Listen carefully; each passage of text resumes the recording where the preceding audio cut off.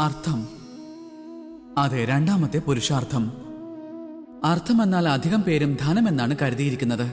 അത് തെറ്റായ ധാരണയാണ്.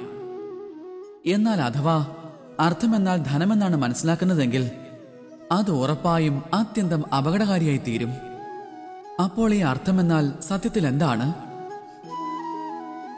അർത്ഥമെന്നാൽ അതാണ് നമ്മുടെ ജീവിതത്തിന് അത്യാവശ്യമായുള്ള കാര്യം.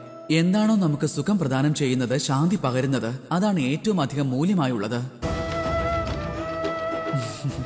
നമ്മുടെ അച്ഛനമ്മമാർ സുഹൃത്തുക്കൾ ബന്ധുക്കൾ ഗുണങ്ങൾ പുണ്യം ജ്ഞാനം ഇവയെല്ലാം ഒരുമിച്ച് ചേരുമ്പോഴാണ് അർത്ഥമായി മാറുന്നത്.